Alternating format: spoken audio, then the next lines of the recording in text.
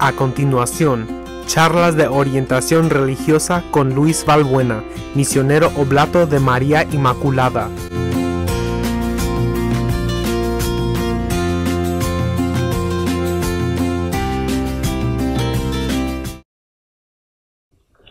En el nombre del Padre, del Hijo y del Espíritu Santo.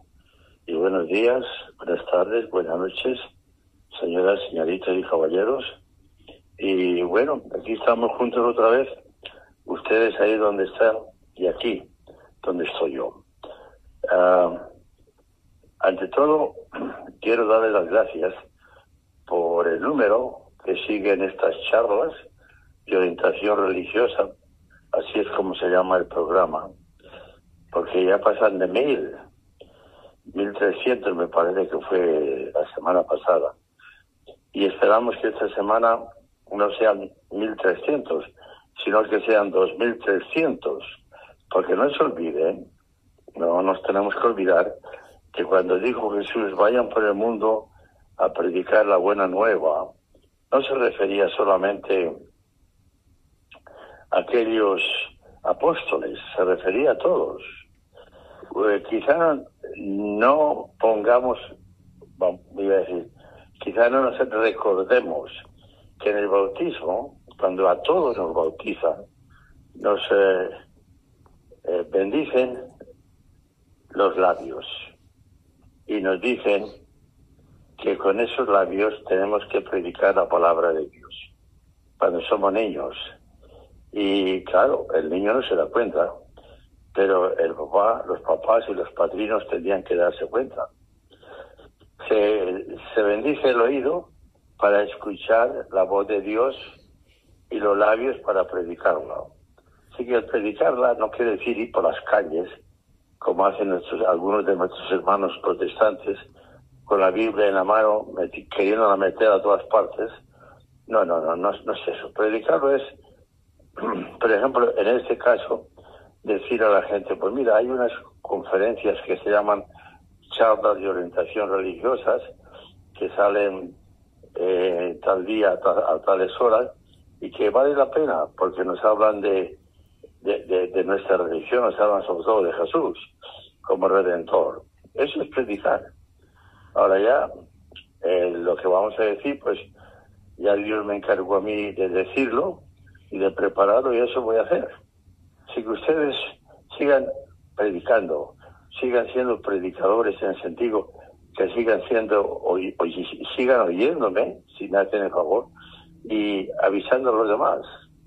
Eso es lo que significa aquella bendición tan pequeña que nos dieron en nuestros labios tan niños y tan hermosos de ángel cuando fuimos a bautizarlos.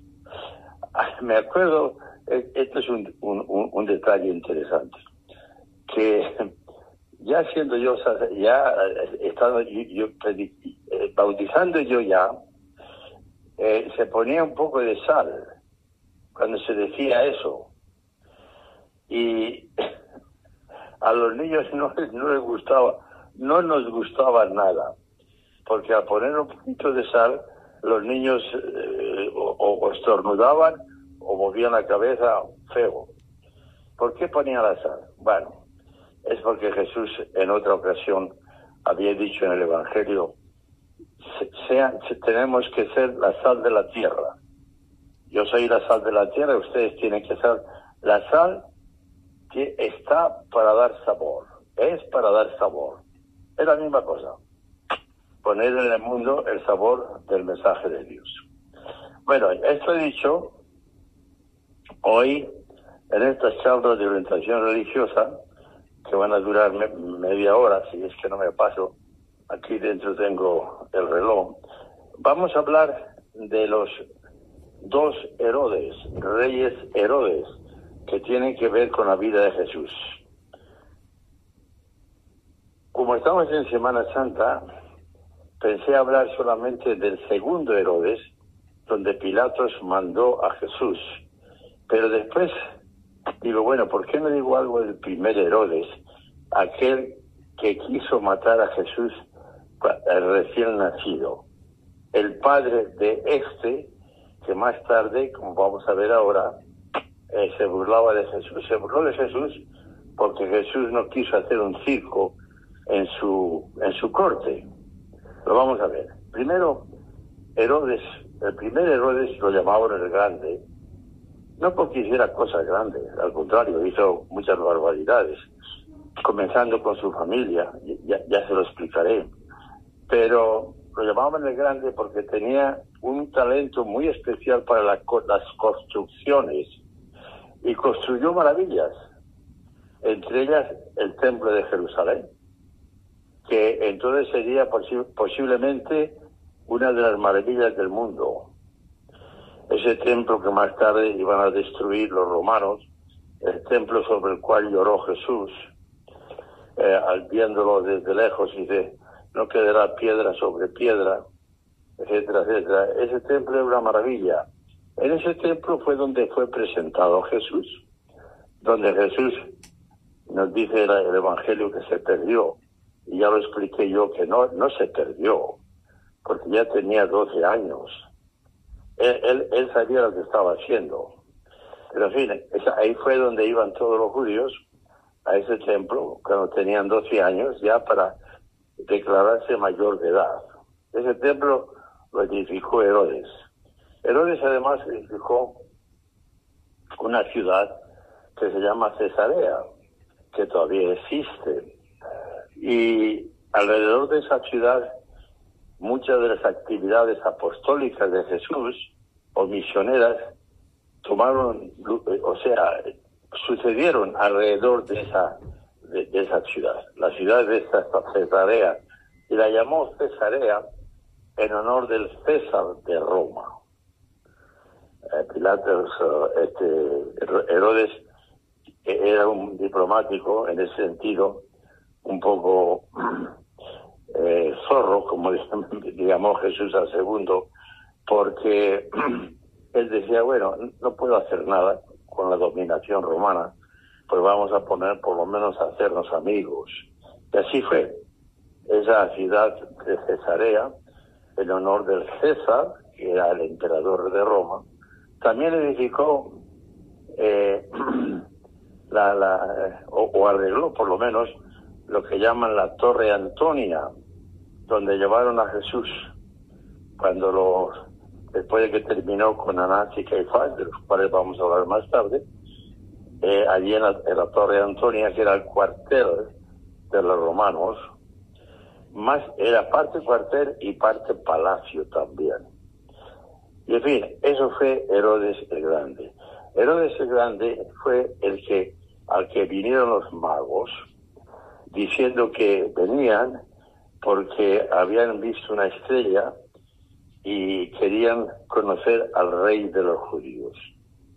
Herodes, que era un celoso, como veremos más tarde, eh, se puso enseguida al armado y se acuerda lo que pasó cuando fueron los magos a Belén. Le dijo en sueños, le dijo un ángel a, a José, no vuelvas por Herodes, pero vuelve por otro camino. No vuelvas por Jerusalén, porque Herodes quiere matar al niño. Entonces, al ver a Herodes que no volvían los magos, fue cuando él decretó aquella matanza de los santos inocentes. Eso les indica, o nos indica, el corazón cruel, horrible, sin piedad que tenía este hombre. Y que después de buenas a primeras se presentan alrededor de Belén, porque eso sí sabía. Le dijeron los entendidos en la Sagrada Escritura que iban a hacer en Belén. Y dio orden de matar a todos los niños menores de, de dos años.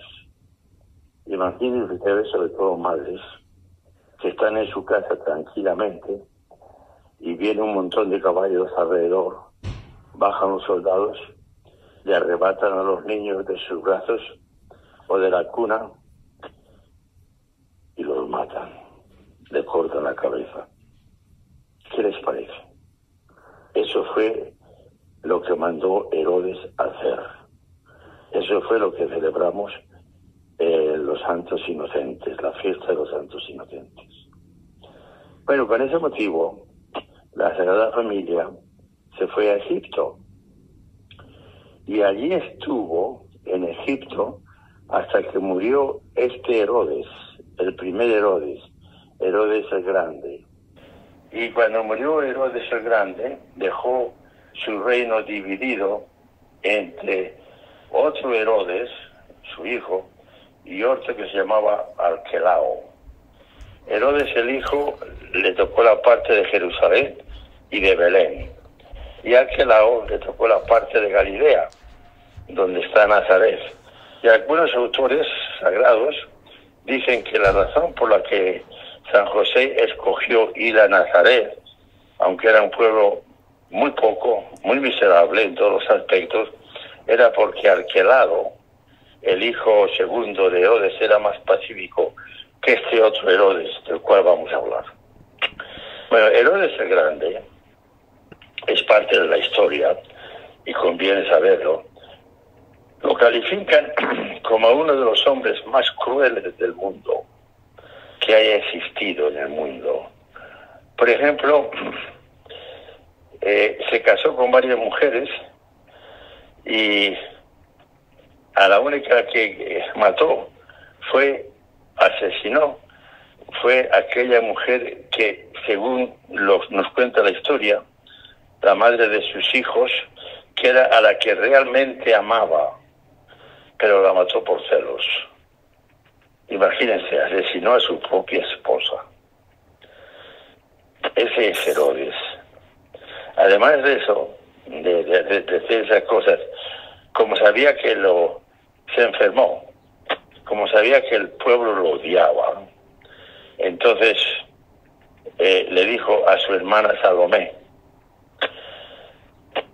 el día que yo me muera, tú vas a estar en Jericó, una de las ciudades más antiguas y más bellas del mundo, y llenas ese estadio, eh, ese hipódromo, hipódromo, de los más nobles del reino. Y cuando te digan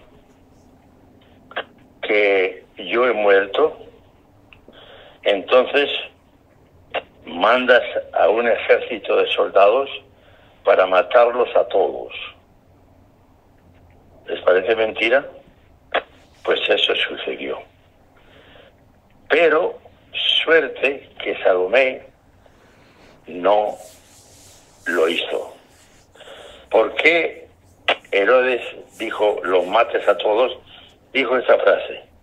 Porque sé que no van, no van a llorar por mi muerte, porque me odian, pero por lo menos que mueran por la muerte de los maridos y de los hermanos, etcétera, por las familias nobles, que mueran por ellos. Y Salomé, pues lógicamente, no lo hizo, gracias a Dios. Este fue Herodes el Grande. Bueno, a Herodes el Grande sucedió eh, estos dos que acabo de decirles, eh, Herodes hijo, y que lo puso él le repartió el reino, que era Jerusalén, esa parte donde de Judea, como saben, la tierra de Jesús, pues era Judea, Galilea y Samaria. Y ahí en Judea era donde estaba Jerusalén, naturalmente, y Belén. Le tocó esa parte. Y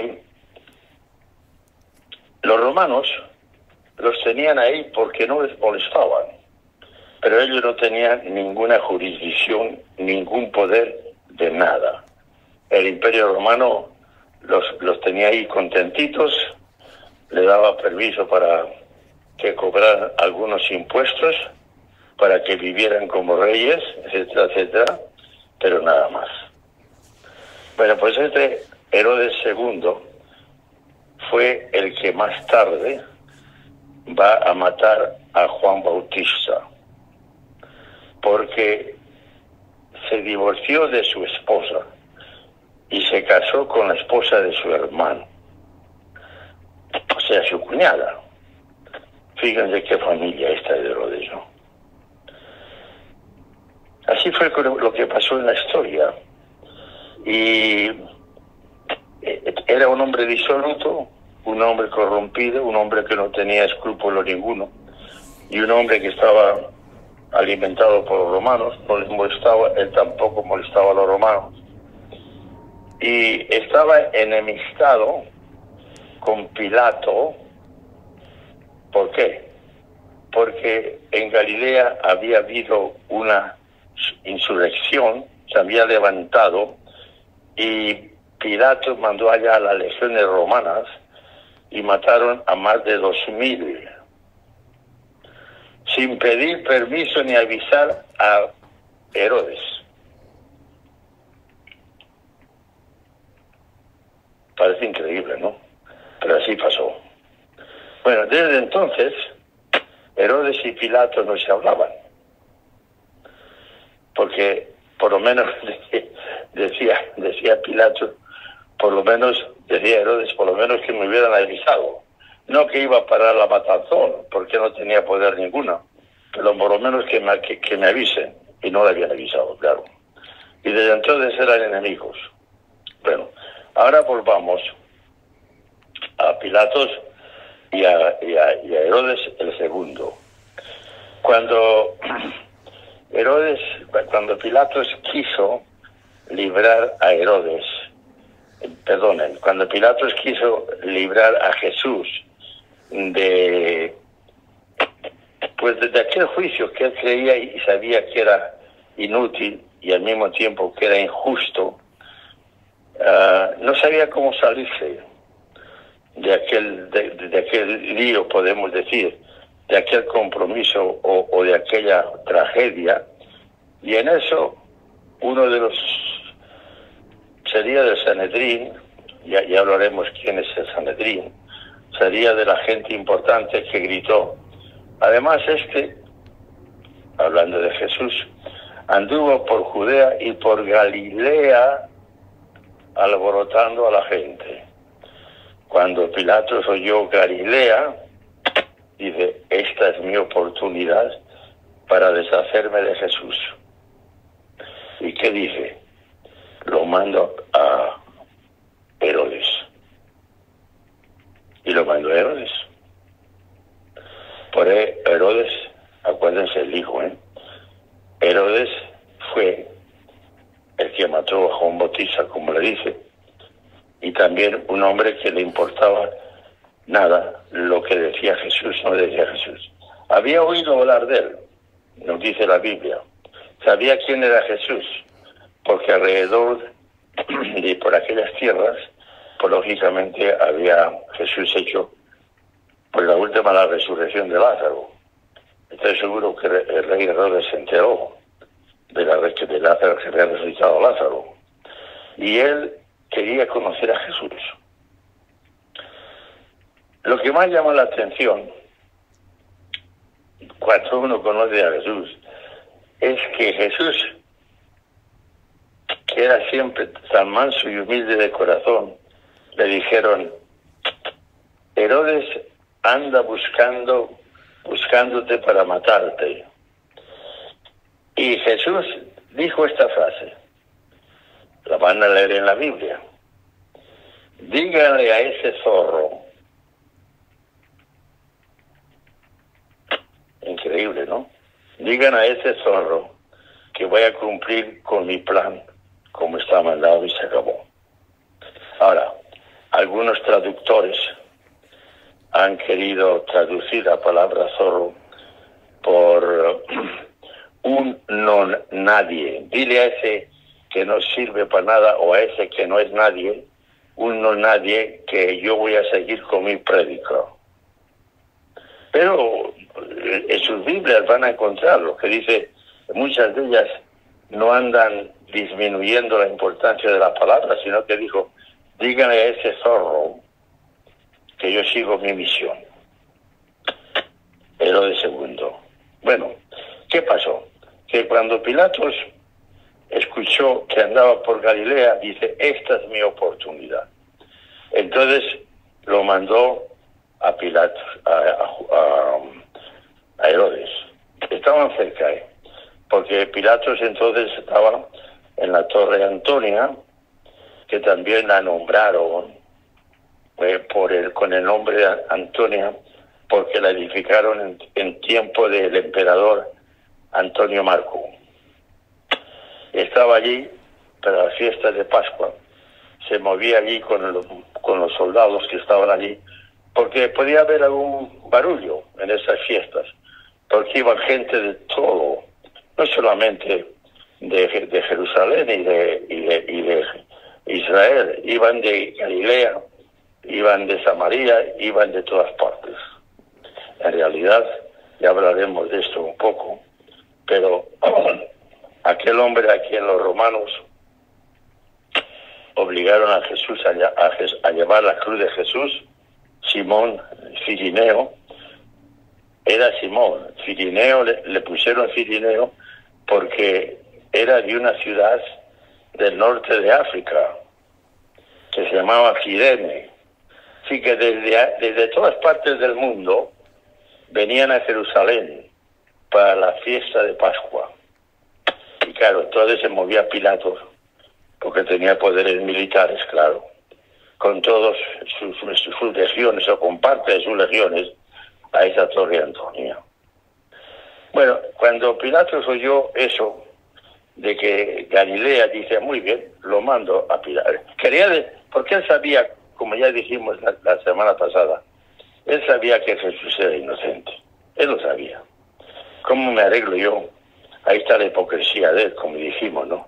Sabiendo que es inocente, ¿por qué lo sostiene? ¿Por qué lo condena? ¿Por qué lo azota? ¿Por qué lo crucifica? La hipocresía. Las dos caras de Pilato, de las cuales hablamos, ¿se acuerdan? Bueno, entonces dijo, ahora me lo mando yo a Herodes y me deshago de él. Y le voy a dar a Herodes el poder de juzgarlo. Pues claro, si no le daba el poder de juzgarlo, pues no podía hacer nada, pero le dio el poder de juzgarlo, naturalmente. Bueno, Herodes se puso tan contentísimo. Dice, hombre, al final voy a ver al famoso maestro. No hacía mucho que había resucitado este famoso maestro, el divino maestro Jesús, había resucitado a Lázaro, algo que se había corrido por como la pólvora por todo Jerusalén porque Lázaro era un personaje importante. Y otros milagros que sabía. Tenía espías por todas partes, lo mismo que su padre. Herodes tenía espías por todas partes, que le decían lo que estaba pasando. Y dijo, yo quisiera conocer a ese hombre. Yo quisiera conocer a ese Jesús de Nazaret. Mira por dónde se presenta Jesús de Nazaret le avisan a Herodes que no estaba muy lejos, quizá ni medio, ni medio kilómetro de la Torre Antonia, que Pilatos manda a Jesús para allá. Hombre, Herodes, el corrupto Herodes, el mentiroso, el adúltero, el todo lo que ustedes quieran llamar, se puso contentísimo. Y quiso montar un circo. Toda la corte que tenía, que tenía un montón de aduladores, aquellos mismos que cuando dijo Herodías, que era la esposa de su hermano que vivía con él, a la hija, cuando le dijo a la hija a Pilato, no, cuando le dijo Herodes, Herodes le dijo a la hija, ¿qué quieres que te dé por este baile? Hasta la mitad de mi reino. Y fue cuando pidió la cabeza de Juan, de Juan Bautista, ¿no? Toda esa gente estaba alrededor de, Herodes. Y Herodes quiso montar un show, un espectáculo, y para cuando viera a Jesús. Entonces imagínense una sala, aquellas salas enormes que había construido su padre, llena de gente, porque venía Jesús, el famoso Jesús de Nazaret. Jesús de Nazaret ya venía atado, era preso, no le habían azotado todavía, menos le habían puesto la corona de espinas, pero ya se notaba el dolor de la noche que describimos la semana pasada, la noche de, en el huerto de los olivos. Ya se veía que Jesús no tenía el vigor que tenía antes, iría posiblemente con las marcas del sudor de sangre, iría cansado, naturalmente, no había dormido, no había comido, y eso sería ya en la mañana. No había comido después de la última cena, no había descansado, y encima tuvo esa atroz agonía de la, la que describimos el último día. Ahí estaba Herodes sentado en su trono, posiblemente con la esposa de su hermano, a quien le robó viviendo en adulterio, esperando a Jesús. Entra Jesús maniatado, entra Jesús cansado, Jesús entra con la vista mirando al suelo, pueden imaginarse. No creo que la levantara nunca para mirar a, Herodes. No creo que hizo, le hizo ese favor nunca. Y entonces Herodes, que era un payaso y un criminal, comenzó a decirle, hombre, hacía mucho tiempo que no te, que, te había, habían, habían hablado de ti, hacía mucho tiempo que quería quería, ¿por qué no haces aquí con nosotros un milagro? Eso de lo que la gente dice que has hecho para ir por la tierra. Haz milagros, diviértenos. No diría eso, pero en fin, esa es la idea, ¿no? Diviértenos, haz un milagro. Le hice un montón de preguntas, un montón de, le cuestionó por todas partes, le pidió un montón de favores, sobre todo espectaculares, para divertir a sus seguidores, Jesús no abrió los labios. Estoy seguro que ni levantó la vista para mirar a Herodes y a los que estaban alrededor. Entonces Herodes, desesperado, se dio cuenta que no podía hacer nada. ¿Y qué fue lo que hizo?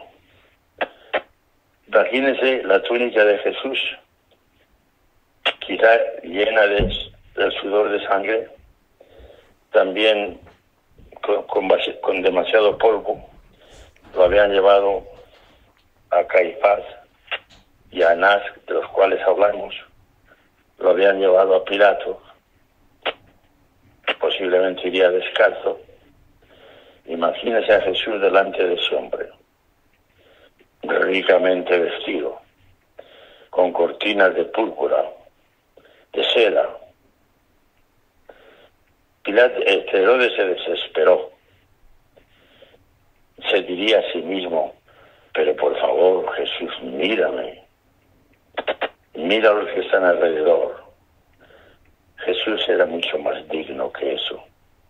Como Dios, naturalmente, era divino, como hombre, muy digno solamente falta conocer, y todos conocemos, dar un vistazo por la Biblia y se darán cuenta con qué dignidad.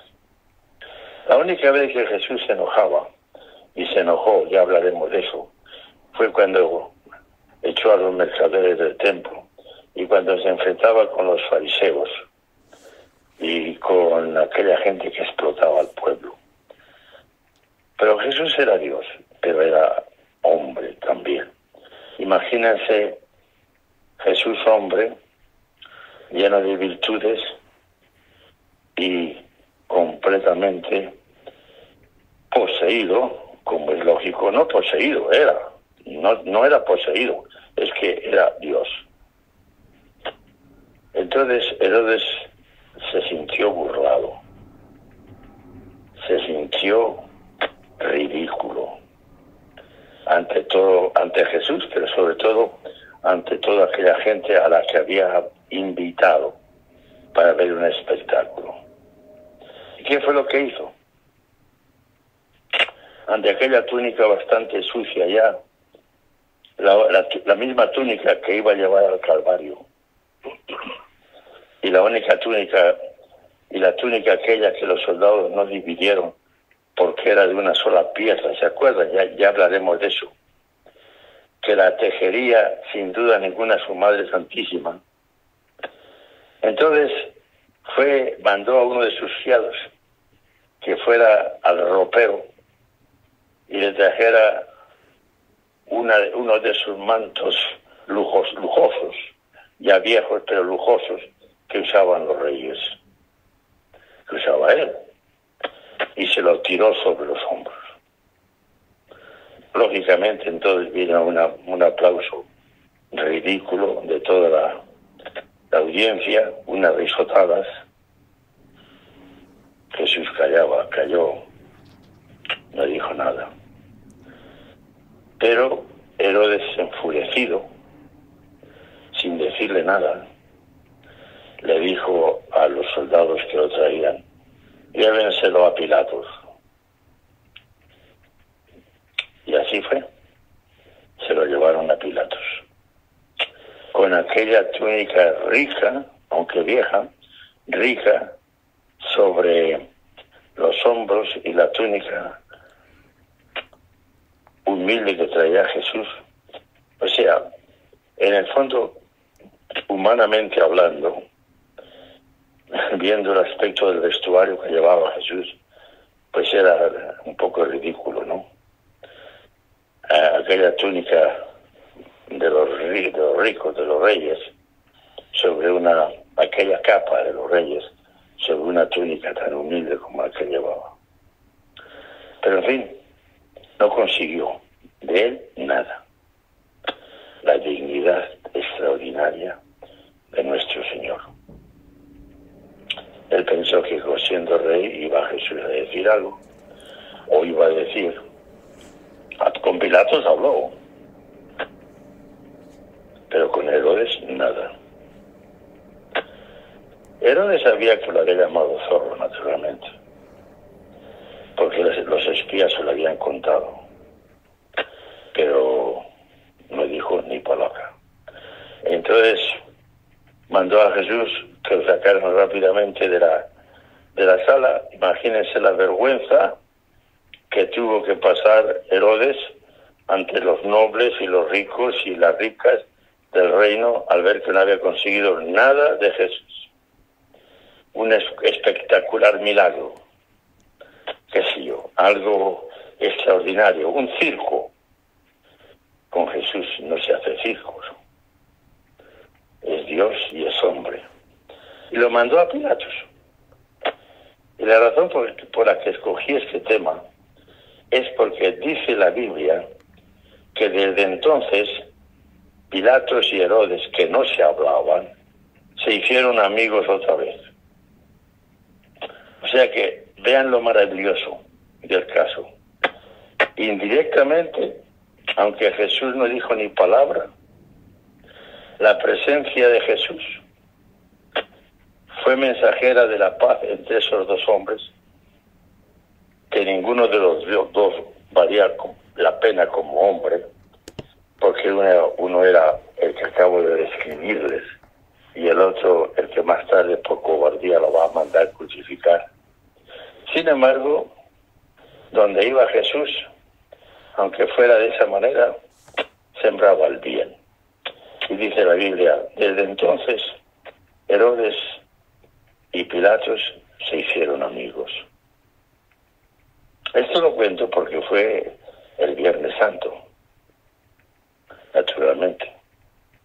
Después ya seguiremos, porque Pilatos al ver que volvían a Jesús con aquella túnica rica sobre su humilde, aquella capa rica sobre su humilde túnica, se reiría un poco y al mismo tiempo le daría rabia porque sabía que no había conseguido nada de Herodes. Por eso hay una, una expresión, cuando ustedes la conocen, ¿verdad? Que está basada en esto. Cuando mandan un personaje de una parte a otra, dice, lo mandaron de Pilatos a Herodes, de Herodes a Pilatos. Eso significa. Pilatos envía a Jesús a Herodes para que Herodes hiciera algo no que lo matara como había matado a Juan Bautista, eso no lo hubiera permitido Pilato, además no tenía poder para hacerlo, pero por lo menos que le diera una especie de, qué sé yo, de luz, no, porque ahí no puede haber luz, era todo tinieblas. Una especie de idea que hacía con Jesús. El viaje a, Herodes lo, lo pudo, peor todavía para Pilatos. Y lo único que Pilatos dijo fue, no, no le encuentro ningún delito a este hombre. Hablando de Jesús, cuando hablaba ah, con los que le acusaban, las autoridades de aquel tiempo, de, de las cuales hablaremos también. Ni Herodes tampoco le encontró ningún delito porque lo mandé y me lo devolvió. Bueno, la gritería volvió otra vez a estallar. Hay que matarlo porque es enemigo de César, etcétera, etcétera. Bueno, le quise hablar un poco de los dos Herodes, del Padre y del Hijo, porque los dos Herodes, hombres corruptos y sin moral ninguna, tuvieron que ver con Jesús. El primero, el Padre lo quiso matar cuando era niño, y el segundo no tenía poder para matarlo, pero quiso sacar eh, podía haber, el segundo podía haber hecho algo, qué sé yo, yo no sé, alguna cosa que se le ocurriera y volverlo a Pilato, para que Pilato dijera, a a él lo encontró también culpable. Pero Pilato no tuvo más remedio, él que era un mentiroso, no tuvo más remedio que decir, no encuentro nada en este hombre, porque lo mandé con Herodes y tampoco él encontró nada. Fíjense. Y desde entonces se hicieron amigos. Jesús poniendo paz incluso entre dos personas que no se lo merecían. Pero es que Jesús es así. Jesús es así. Jesús donde va, incluso ante aquellas personas que se burlaban de él, no puede hacer otra cosa que sembrar el bien, la concordia y el amor. Eso lo podemos ah, aplicar un poco a nosotros. Donde está Jesús, y de ahí que nosotros tenemos la obligación como cristianos de exponer a Jesús en el buen sentido de la palabra a todos aquellos que no le conocen o que si le conocen no lo siguen. Ahora, algo quiero aclarar. El Papa Francisco nos lo dijo, y ya eso ya sabemos. No tenemos que ser propagadores de Jesús queriendo meter la Biblia hasta en la sopa del día, como hacen algunos de nuestros hermanos. No. La religión es amor y el amor no se obliga. El amor si se, se obliga o si se quiere imponer ya no es amor. La evangelización de Jesús, si se dieron cuenta, fue una evangelización o una prédica o un testimonio nunca obligatorio. Es más, se cuenta, por ejemplo, la Biblia, que un joven le preguntó a Jesús eh, varias preguntas y contestó muy bien. Eh, Jesús y el joven y, el joven a Jesús. Y dice la Biblia que le, eh, Jesús se quedó contento y a gusto con ese joven y que le dijo, mira, solamente te falta algo y es ve a casa, vende lo que tienes y sígueme. Y dice la Biblia otra vez que como era rico, se entristeció y se fue. Claro, lo normal hubiera sido que Jesús le apuntara con el dedo y le dijera, tú por haber hecho eso, etcétera, etcétera, etcétera. Nada, ni palabra. Se fue lo dejó irse.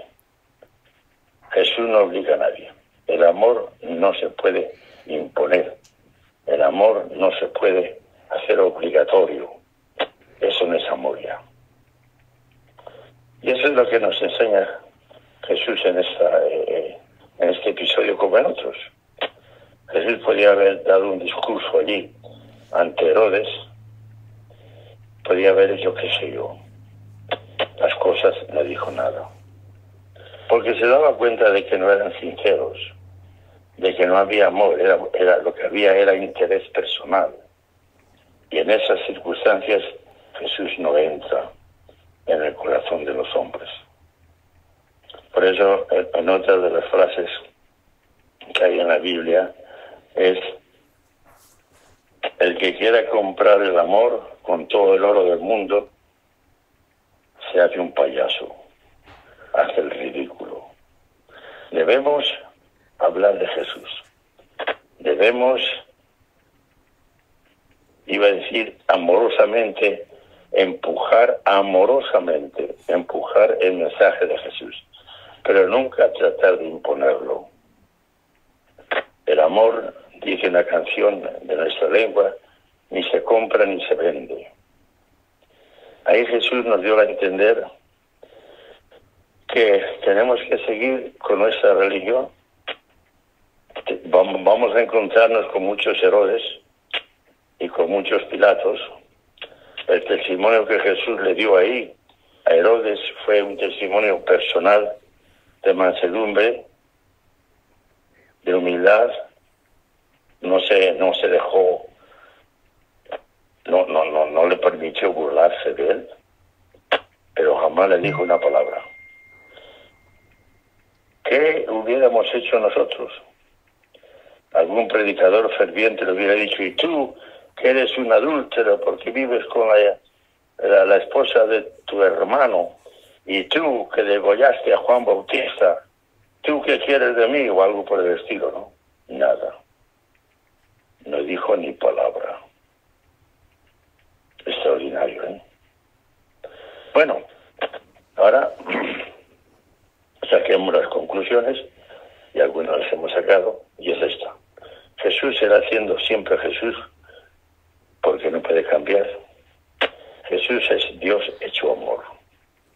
Y el amor no se impone. El amor se expone, el amor se predica, pero no se impone.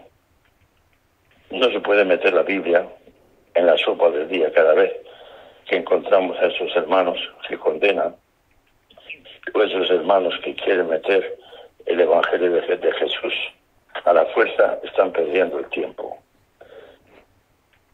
El amor no es así. El amor de nuestro Jesús ahora ante Herodes. Callado, dignamente callado. Me imagino, y con esto termino, que cuando Herodes le, le dijera con un gesto despectivo, llévenlo de aquí, ustedes váyanse a ese cuarto lujoso lleno de comensales, de amigos lujosos, ante este espectáculo. ¿Qué diría Herodes a aquella gente? ¿Algún chiste tonto? ¿Alguna risotada ridícula? Pero estoy seguro que aquella presencia de Jesús digna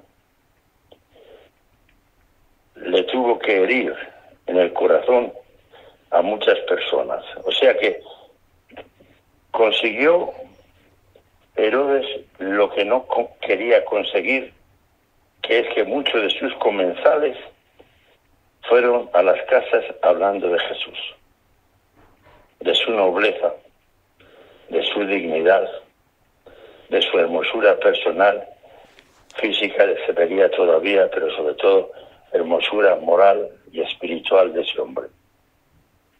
Ese es, la, ese es el ejemplo, esa es la conclusión que podemos sacar. Imagínense a todos esos nobles con sus esposas irse a casa, ¿qué dirían? ¿Qué te pareció, Jesús? Sobre todo las mujeres que son más sensibles a todas las cosas, le dirían un poco como que dijo la mujer de Pilatos no te metas con ese justo. Las mujeres dirían, me impresionó. Y los hombres también. Me impresionó, no sé qué decir. ¿Y ustedes creen que no iban a investigar qué fue lo que pasó después? Mm. Claro que lo investigaron. Porque cuando ves a Jesús en persona, aunque fuera en este caso atado y humillado, jamás se borra de tu imaginación y si tú lo permites, de tu corazón. Miren, dos cosas, aunque me he alargado un poco. Dice la Biblia que cuando fueron al huerto y Pedro, San Pedro se dio cuenta que lo querían apresar, San Pedro sacó una espada y le cortó a uno la oreja, a un criado del sumo sacerdote que se llamaba Marco. ¿Por qué saben el nombre de esa persona, Marco? Otra cosa, aquel cirineo que vamos a ver más tarde, Simón, de la ciudad de Cirene, norte de, África, más tarde la Biblia nos va a hablar de sus hijos, Alejandro y Rufo, ¿Por qué? Eran cristianos. Porque su padre contaría lo que pasó en aquella día dolorosa, los hijos y él y la mujer se interesarían. Jesús le miraría a Simón de Sirineo con la gratitud, con una sonrisa y nunca se le quitó a ese hombre del alma y se hicieron cristianos. La verdad, la, mejor prueba es que la Biblia nos lo dice con su nombre, Alejandro y Rufo. Y en este caso, el criado, al ver que Jesús se, agachaba, levantaba la oreja que la tenía en el suelo, la cortó la espada y se la curó sin decir palabra. ¿Ustedes creen que esa, esa persona iba a estar así otra vez sin pensarse, ¿y este hombre quién es? ¿Iba a seguir la juerga? haría lo que pudiera para mantener el, trabajo que tenía con su sacerdote bien pagado, pero diría, ¿y este quién es? Que me curó la oreja solamente con tocarme la mano, ponerme la mano en la cara. ¿Quién es este? Y por eso aparece en la Biblia con el nombre, con la cantidad de gente que vino a llevar a Jesús preso es el único nombre que menciona la Biblia. Yo siempre he pensado que es que este hombre después comenzó a investigar quién era Jesús y cuando ya después de la resurrección y después de Pentecostés, lo mismo él que Cirineo, que sus hijos, que la familia, siguieron a este hombre maravilloso y divino que es Jesús. Bueno, Muchas gracias por escucharme. Hoy hablé un poco demasiado, yo creo. Seguimos el miércoles que viene, si Dios quiere. Unión de oraciones y corazones.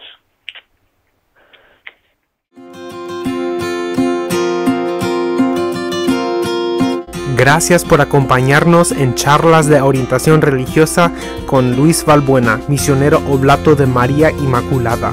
Los esperamos cada lunes, miércoles y viernes a las 6 de la tarde.